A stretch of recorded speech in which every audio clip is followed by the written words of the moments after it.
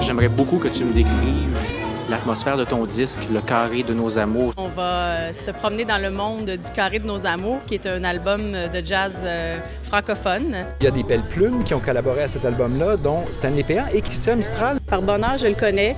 Et puis j'avais plein de textes de lui chez moi. Puis euh, quand j'ai décidé de faire l'album, je dit ah, Christian, j'aimerais vraiment ça prendre un de tes textes. On va aller explorer la littérature et, et l'improvisation du jazz. C'est un disque qui vient d'être nommé au Juno, il faut le préciser. The 2012 Juno Award for Vocal Jazz Album of the Year goes to Sonia Johnson. Première fois, un disque 100% francophone hérite de ce titre. Habituellement, dans la catégorie jazz, euh, on, on sait que c'est des gens qui interprètent des standards. Euh, moi, j'ai fait un premier album, c'était ça, mais je voulais absolument que mon second soit un album de création et de composition. Merci beaucoup. That's nice.